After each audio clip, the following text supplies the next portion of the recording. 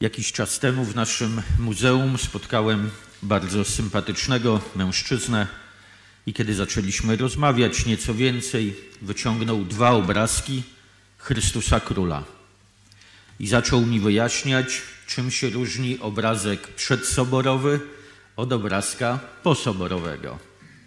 I z wielkim zapałem mówił, że na tym przedsoborowym Pan Jezus ma tiarę, potrójną koronę, zamkniętą, jako król wszystkich narodów i wszystkich królów.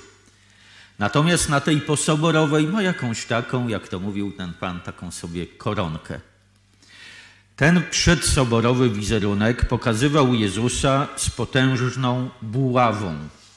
Tak jak wspomniał mi ten pan, to jest taka buława, że jak wódz wojska atakuje i uderzy przeciwnika, to choćby był hełmem zabezpieczony, głowa na dwa pęka. No a Pan Jezus posoborowy to taką ma ozdobną buławkę. No i tak po kolei mi wyjaśniał, że tutaj jest płaszcz cały ze złota yy, i drogich kamieni, a tu to znowu jakaś taka narzutka, no i tak dalej. I w pewnym momencie mówię, wie Pan, sam nie wiem, która z tych koron Panu Jezusowi najbardziej by się podobała, no ale z, tak, z, tego co wiem, to tą koroną, którą on wybrał, jest korona cierniowa. A jako płaszcz narzucono na niego płaszcz purpurowy, żeby go wyszydzić, a potem był już tylko okryty płaszczem z własnej krwi dla naszego życia. A jako buławę nie miał niczego, co byłoby symbolem władzy, bo wsadzono mu w rękę trzcinę, aby się z niego naśmiewać. No i wtedy trochę nam się zmieniła ta rozmowa, ale zobaczcie, kiedy mówimy o królu wszechświata, wtedy często chcemy stworzyć Boga na nasz obraz i na nasze podobieństwo, czyli wymyśleć sobie najpotężniejszych królów, a ten byłby jeszcze potężniejszy. Podczas gdy, kiedy Piłat pyta Jezusa, czy ty jesteś królem, on mówi: Królestwo moje nie jest z tego świata. A więc moje królestwo nie jest na podobieństwo królestw ludzkich, jest zupełnie inne. Zobaczcie, znakiem królowania Chrystusa jest krzyż. On sam powiedział, że tak jak Mojżesz wywyższył węża na pustyni, tak potrzeba, by wywyższono syna człowieczego. Syna człowieczego, o którym mówił prorok Daniel, o którym mówi Apokalipsa, Chrystus na krzyżu jest wywyższony, krzyż jest tronem Jego chwały. I tak to opisuje cała Ewangelia świętego Jana. Więc tutaj, kiedy Jezus przed Piłatem mówi: Jestem królem, dopowiada jeszcze: Ja się na to narodziłem i na to przyszedłem na świat, aby dać świadectwo prawdzie. Każdy, kto jest z prawdy, słucha mojego głosu jakiej prawdzie Jezus chce dać świadectwo. Prawdzie o Bogu, o Bogu prawdziwym, a nie takim, jakiego my sobie stworzymy. Takiego właśnie z buławą do rozwalania głów naszych przeciwników.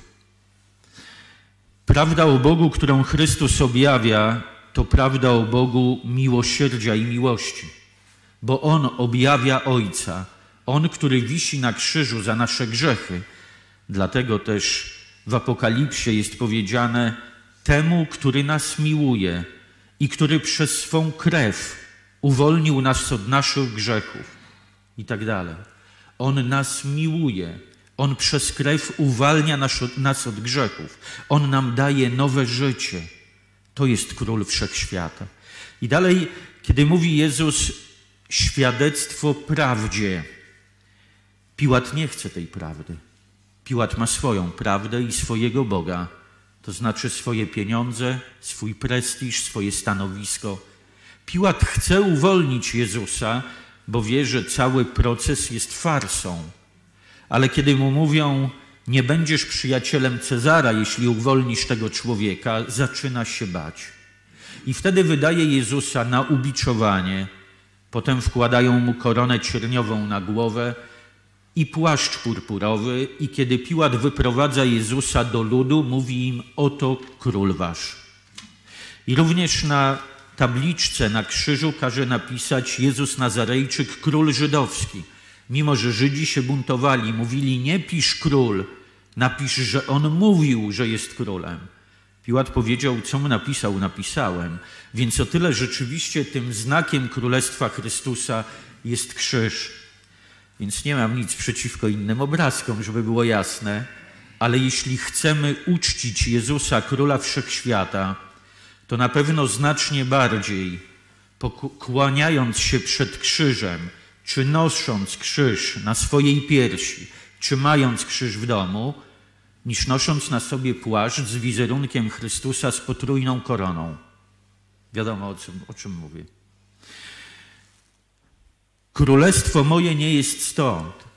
Królestwo moje jest królestwem miłości, królestwem pokoju, królestwem radości. On uwolnił nas od naszych grzechów i uczynił nas królestwem, kapłanami dla Boga i Ojca swojego. A więc to nie tylko On jest królem, ale ja mam być na wzór tego króla.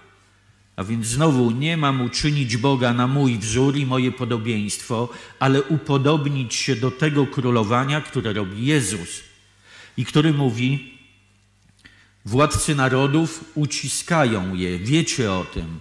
Wiecie, że ci, którzy mają władzę, chcą przewodzić, to znaczy mieć z tego zysk, ale nie tak będzie między wami. Bo skoro ja, wasz Pan i nauczyciel, umyłem wam nogi, to tym bardziej wy powinniście sobie nogi umywać. A więc kiedy przychodzę do tego króla, to po to, by królować tak jak on, to znaczy oddawać życie w miłości dla drugiego. No i żeby było jasne, nikt z nas po ludzku nie bardzo ma na to ochotę, a w ogóle nie jesteśmy w stanie tego uczynić.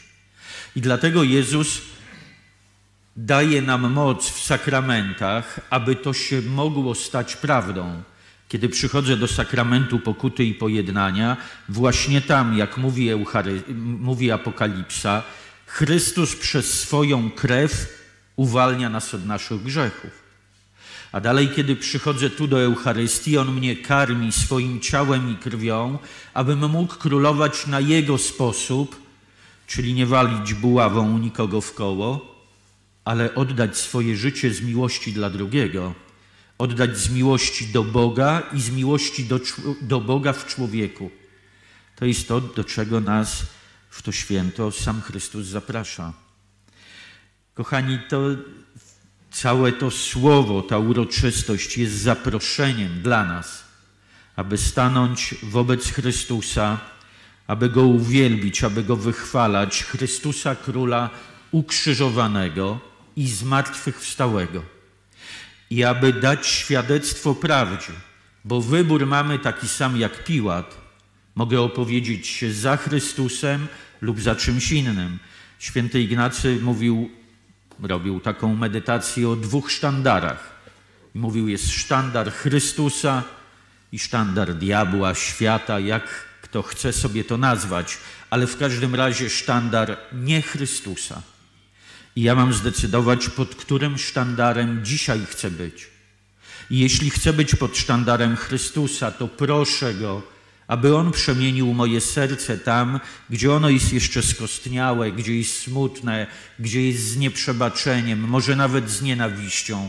Panie, Ty przemień, Ty uświęć to moje serce, które jest ciągle jeszcze tak bardzo kamienne i tak bardzo ludzkie na ludzki sposób, a nie na Boży sposób. A więc Ty mnie przemień, abym opowiedział się za Tobą dzisiaj, abym każdego dnia wzrastał w Twoim królestwie, tutaj na ziemi i aż po wieczność.